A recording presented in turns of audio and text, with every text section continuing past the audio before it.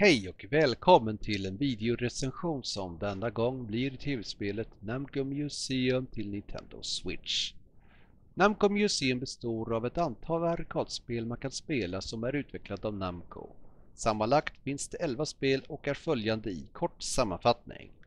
Galaga och Galaga 88. Spelaren skjuter fiender och påminner om Space Invaders.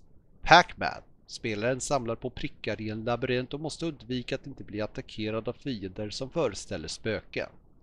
Dig Dag. Spelaren attackerar fiender under jorden så man måste också hindra att komma upp till ytan. Sky Kid. Spelaren är en pilot som måste bomba fartyg och baser. Rolling Thunder och Rolling Thunder 2. Plattformsspel där spelaren går igenom nivåer och skjuter beväpnade fiender. Splatterhouse. Spelaren dödar olika monster i plattformsmiljö som påminner om skräckfilmer. Tank Force. Spelaren styr en pansarvagn som måste försvara sin bas och attackera fientliga fordon. The Tower of Druga. Spelaren går igenom labyrinter för att rädda en person från en trollkarl. Och Pac-Man vs. Spelaren styr spöken istället för Pac-Man. Jag gillar arkadspel sedan lång tid tillbaka som har även andra utgåvor av spelsamlingar som bland annat Capcom Classic Collection och Title Legends till Playstation 2.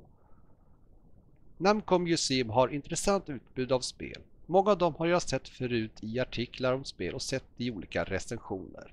Det går bra att spela både med TV eller i portabelt läge med konsolens skärm.